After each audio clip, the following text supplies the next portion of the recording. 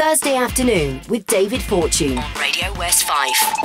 Thursday afternoon on Radio West Fife. It's just gone 10 past 1. As I mentioned earlier, Lynsey Adams from the Limekilns in Charlestown's Floral Display Group would be on the line for a wee chat. Good afternoon, Lynsey. How are you doing? Hello, I'm fine, thank you. Good, good, good. Thank you for uh, getting in touch with Radio West Fife about what you're up to.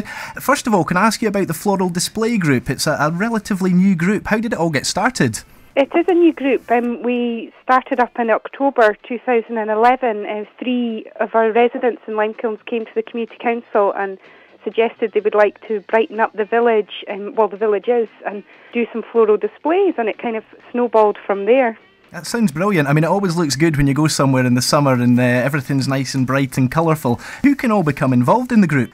Well, we have a, a committee of between eight to ten people, and we kind of decide the, and think about what we're doing in the area. But anybody can be involved. We've got the school involved. The Brownies helped last year with planting. The Scouts are helping, or just Joe Bloggs. Anybody who lives in the village. There's a lot of villagers support the project um, financially or with their time. Well, that's brilliant stuff. I mean, keep us up to date with uh, what you're doing. Anything new, get in touch.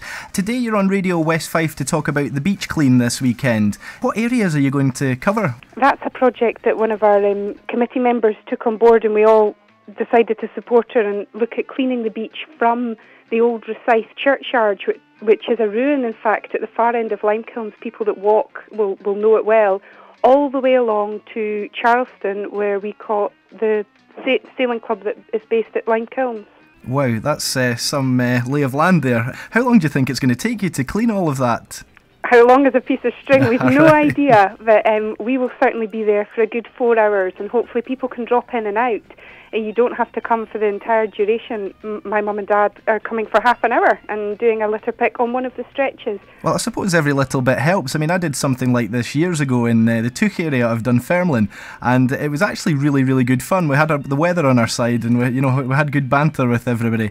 So, why do you, as volunteers, feel you have to take on this role? Because we love our village and we're proud of where we come from. Um, we want it to look beautiful, stay beautiful, and just clear up the mess that's, that come on the beach, and it's going to happen because the tide will sweep it in mm-hmm. and not take it all away. So we're hoping to recycle a lot of the things that we collect, and we'll have clear bags for the plastics and cans, etc., that can be recycled um, on site in Limekilns, mm-hmm. and then some of the stuff sadly will go to landfill, but we, we just want it to clean it up.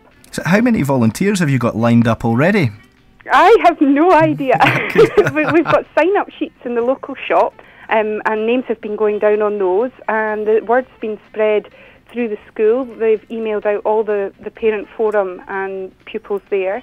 We've contacted the other youth groups. The church it will be going out in the intimations on Sunday. Well, went out, sorry, last Sunday. I do not know, but hopefully a lot of people. We normally have a great turnout. I mean, it sounds like an amazing project where the whole community are coming together. Have, have you actually done anything like this before, Lynsey?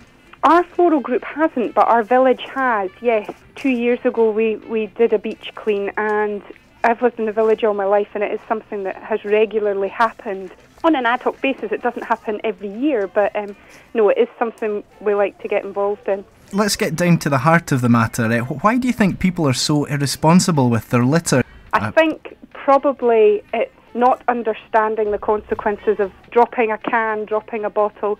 I would guess that probably, like most things, it's perhaps ignorance rather than wanton vandalism. Uh, yeah, and I reckon a wee touch of uh, laziness as well. Quite possibly. I would imagine if you weren't uh, actually doing this, it would take up a lot of council resources. In, in financial terms, how much money does littering and illegal dumping cost the country every year? I believe it's up to £50 million wow. a year that could be spent on other services.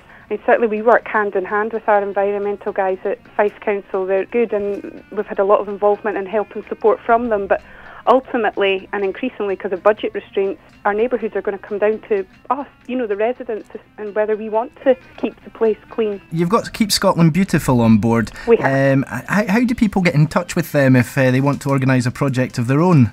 Well, Keep Scotland Beautiful have an excellent website and they run this National Spring Clean campaign um, on an annual basis. But I would suggest that they contact the website, um, Keep Scotland Beautiful. You can Google it or any other uh, internet. Yeah, just have, have a wee rummage about online.